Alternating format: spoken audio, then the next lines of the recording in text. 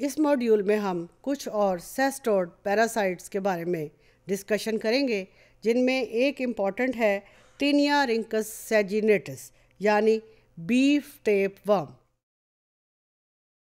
ये भी tape worm जो है मेडिकली इंपॉर्टेंट है मेडिकली इंपॉर्टेंट इसलिए है कि ये डिज़ीज़ कॉज करता है ह्यूमन बींग्स में.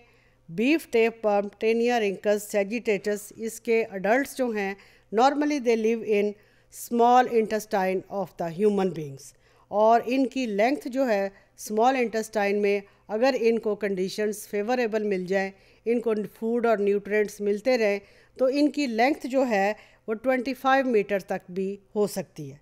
और इसके चूँकि ये पैरासाइट है, इसकी फ़ीमेल जो है, और इसका रिप्रोडक्टिव पोटेंशियल बहुत हाई होगा। Female will lay a large number of eggs और एग्स का नंबर जो है एटी थाउज़ेंड तक पर प्रोग्लॉटेड भी हो सकता है। प्रोग्लॉटेड के बारे में आपको मैंने बताया कि हर प्रोग्लॉटेड के अंदर एक कंप्लीट यूनिट रिप्रोडक्शन का मौजूद है। अब ये एग्स जो हैं they are after once they are laid they are release और रिलीज़ होने के बाद proglottid break free of the adult worm अब फिर एग्स डेवलप करेंगे। एग्स डेवलप करेंगे तो इनके साथ पैरासाइट्स के जो स्ट्रक्चर्स हैं, उनकी डेवलपमेंट भी स्टार्ट होगी। This will form a six hooked structure hexacanth अब उस हेक्साकेंथ को बाद जो है, एक लार्वल डेवलपमेंट आएगी।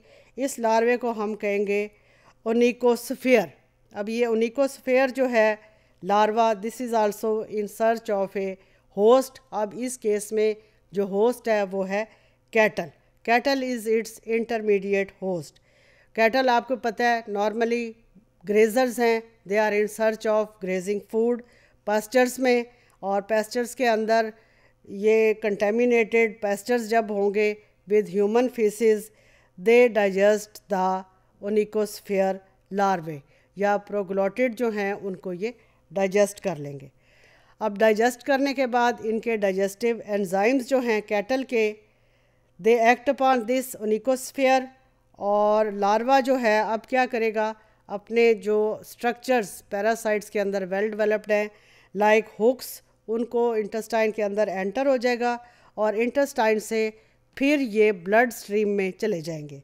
ब्लड स्ट्रीम के अंदर they carry the larva to skeletal muscles जहाँ पर ये एनसिस्ट बनाएँगे and then they will form a fluid filled bladder और उस ब्लैडर को हम कहेंगे सिस्टिकिरस और उस वजह से इनको हम ब्लैडर वर्म्स भी कह देते हैं। अब जब ह्यूमन बींग्स जो हैं इस इन्फेस्टेड मीट को, जिसको हम मीजली बीफ कहेंगे, जो कि रा भी है और इम्प्रॉपरली कुकड है, उसको जब ये खा लेंगे तो यहाँ पर जो इसका स्कोलेक्स है this will attach its self to the intestinal wall of the human beings और टेप वर्म जो है, यहाँ पर अब रहकर मेच्योर होंगे। यहाँ पे देखें, आप इसके लाइफ साइकिल को हम एक्सप्लेन करते हैं। Beef tape worm life cycle यहाँ पे uncooked meat this is consumed by a human being अब ये अनकुकड मीट कंज्यूम होने के बाद, यहाँ पे जब बॉडी में चला जाएगा तो ये tape worm this will lay eggs और एग्स जो हैं then they are released release होने के बाद eggs they attach themselves to some grasses then that grass is eaten by this cow और एग्स जो हैं, उसके थ्रू इसकी बॉडी में चले जाएँगे। यहाँ पर फिर लार्वल की डेवलपमेंट होगी।